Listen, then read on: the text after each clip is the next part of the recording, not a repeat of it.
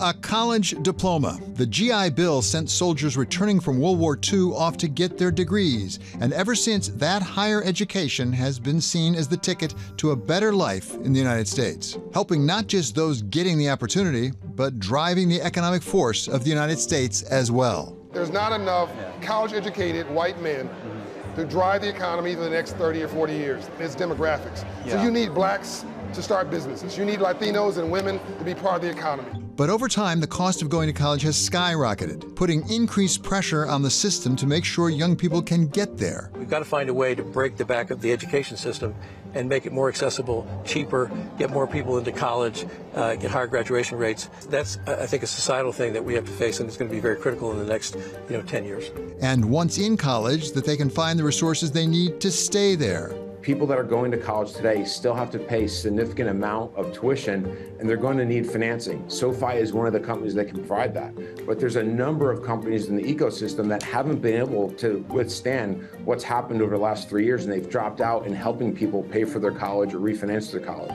Creating what Ray McGuire of Lazard calls a pipeline of talent, a pipeline as diverse as the nation is being prepared to lead. You have to make sure that we have a robust pipeline that pipeline needs to have sponsorship.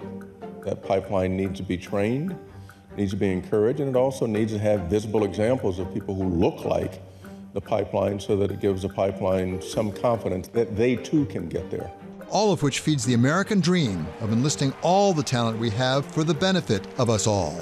I benefited from living in a country that believed in my potential. And even though I was a poor kid living in a rural community, America cheered me on.